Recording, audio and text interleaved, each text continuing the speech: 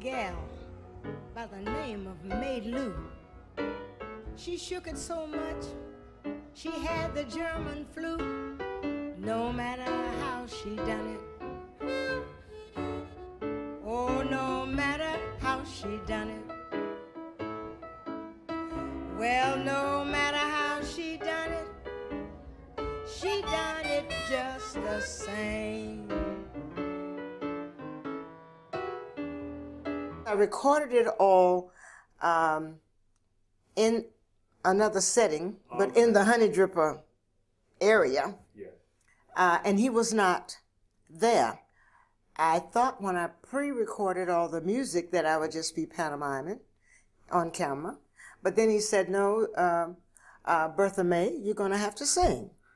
I said, I have to sing, you know, to myself. How, how, how am I going to just sit here and just sing?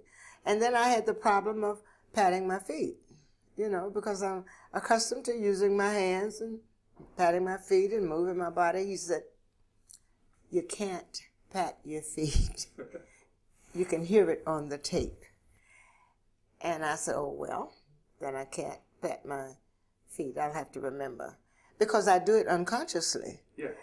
Uh, but he was so kind and so soft and so achieving in his own manner until he really spoiled me.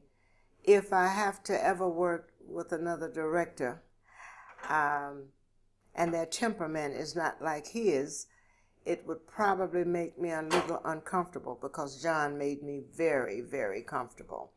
He didn't allow me to ever feel that this was the first time I had done uh, a film of this type because I had done walk-ons and sitting in crowds and I have music in film but never sang live. I never sang live in a film before and never had talking lines uh, before.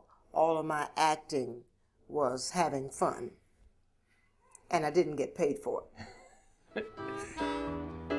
No matter how she done it, she done it just the same. Yes, she did.